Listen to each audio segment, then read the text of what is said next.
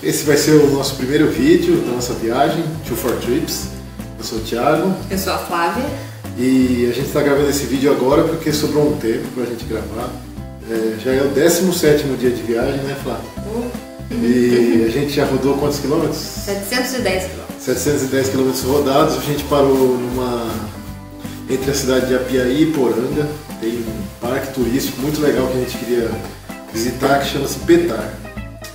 E aí a gente aproveitou também, agora que a gente teve um pouquinho de tempo livre, a gente está acampando e aí a gente vai contar um pouco de como que foi esse começo de viagem, o que, que a gente leva, como que foi a nossa saída de Jales.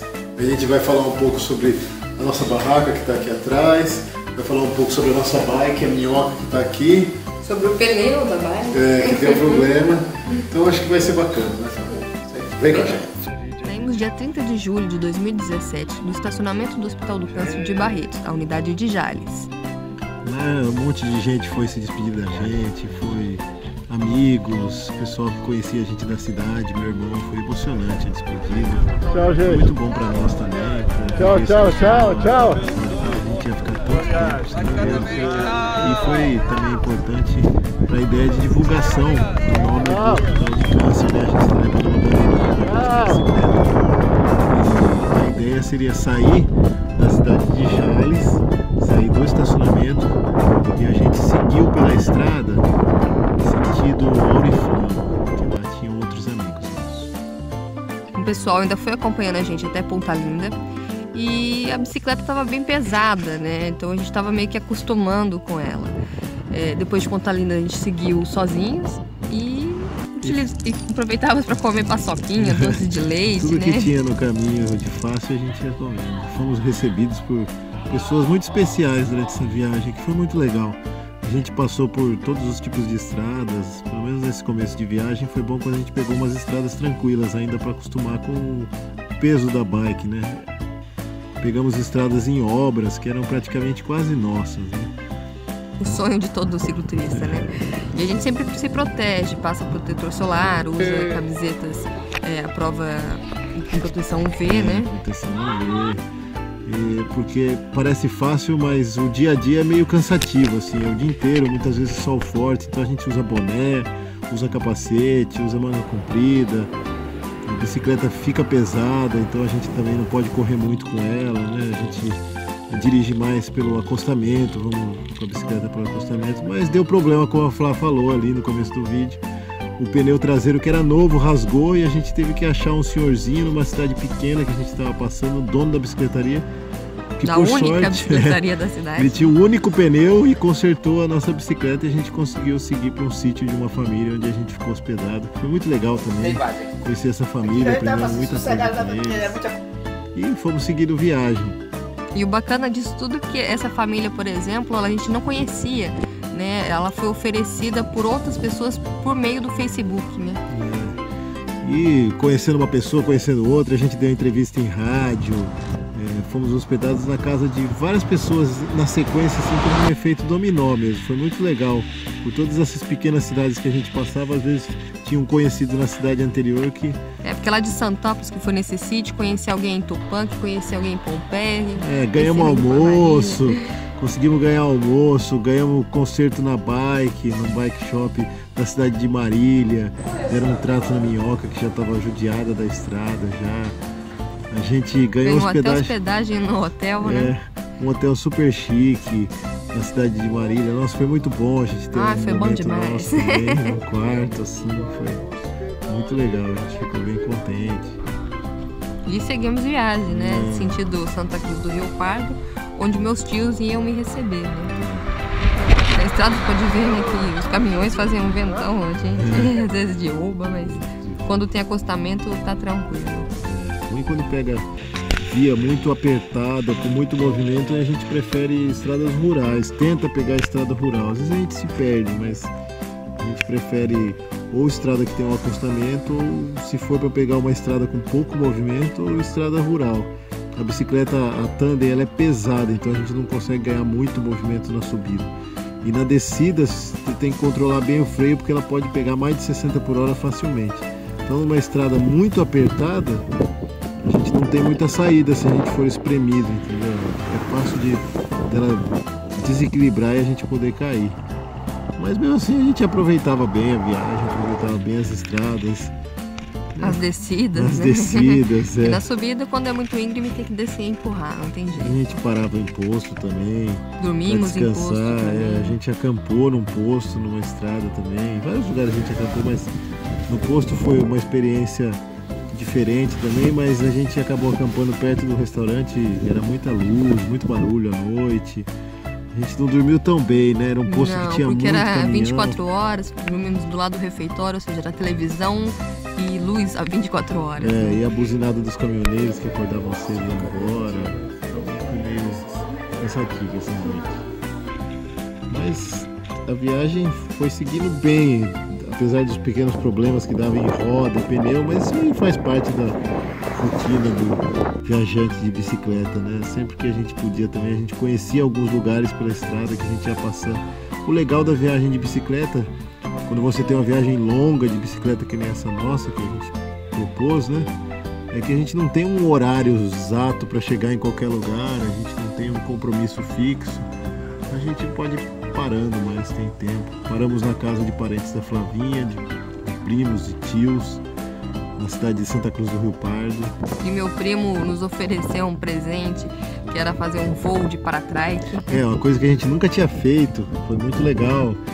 É, sair do, da terra e ir para o céu, né? Uma experiência diferente mesmo. No começo a gente ficou com um pouco de medo, parece que aquele ventilador vai descontrolado para o céu. É um, você tá meio que numa bicicleta que tem o ventilador atrás e um paraquedas, é um negócio que parece desengonçado, mas o voo é bem bacana, né? Ele voa bem. Foi bem legal a experiência. É, no começo dá um pouquinho de medo, porque é, ele voa alto, né? E você olha pra baixo assim, parece que você não tá seguro, mas tá seguro. assim. É muito bacana. O visual é surpreendente. Gente ainda voa, acho que no final da tarde. E o sol deu uma ajuda boa. A decolagem é tranquila, o pouso é tranquilo, não é um negócio tumultuado, né?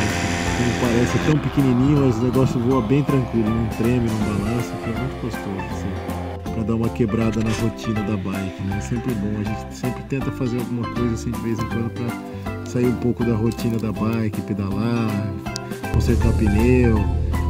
Então é sempre bom dar uma descansada de vez em quando, uma relaxada conhecer outras pessoas durante a viagem sempre, sempre ensina muito, a gente conhece a vida dessas pessoas, aprende com elas, conhece a cidade delas, conhecemos a cidade de Piraju, que foi muito legal no caminho, uma cidade bonita, com muita coisa aquática, né? Muito, muito bacana. Passeada pela cidade, quebramos dois dias lugar para descansar a bunda do, do E foi uma cidade que nos recebeu muito bem. né? É, foi impressionante cidade. Tinha um, um Face, um grupo chamado Eu Amo Piraju. A gente postou lá que a gente estava passando pela região. O pessoal ficou feliz, assim, né? É. Convidou para ficar em casa, convidou para passar em sorveteria. É, pra comer em pizzaria, em restaurante. Foi muito legal a experiência nessa cidade. E a gente também conheceu o PP da canoagem. né? É, que é coisa muito dessa cidade de Piraju e é sobrinho da, da, senhora que recebeu a gente. É, que recebeu a gente na casa dela. Temos entrevista na rádio também nessa cidade. Mais uma vez Piraju é- divulgando o Hospital do Câncer de Barriga. É, Piraju é o peixe dourado, por isso que tem o peixe na cidade.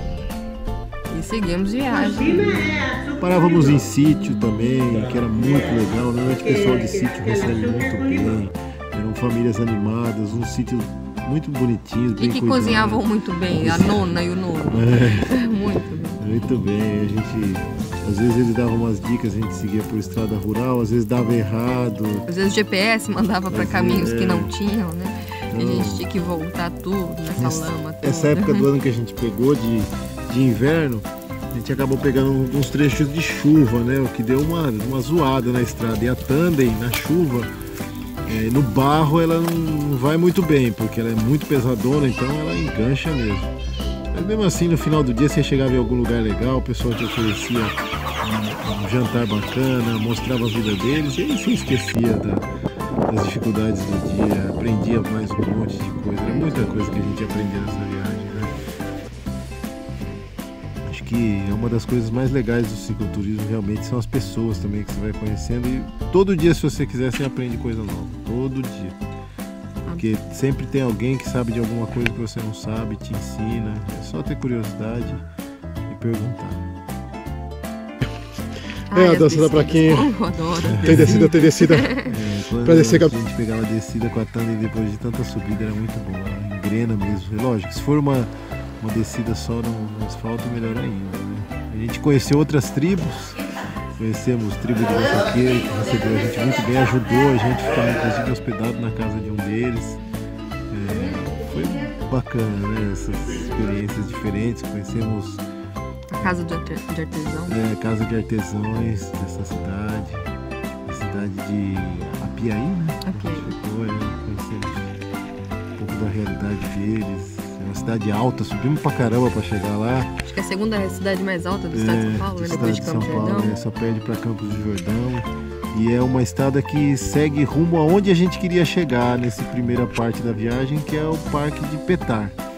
E falavam que de Apiaí até o Parque de Petar era só descida, mas não é não. É só subida ainda por terra, mas o visual é muito legal. A gente, a gente viu a Mata Atlântica mesmo como ela é, um clima mais friozinho, úmido, muita, muito, muitos bichos, né? Uns lugares bem bacanas para conhecer.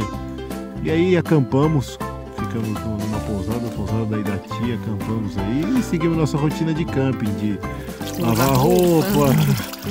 Flavinha fazia, fazia comida, a gente montava a barraca, né? E no outro dia fomos visitar aí o parque que a gente tanto queria conhecer, né? O Parque Petar.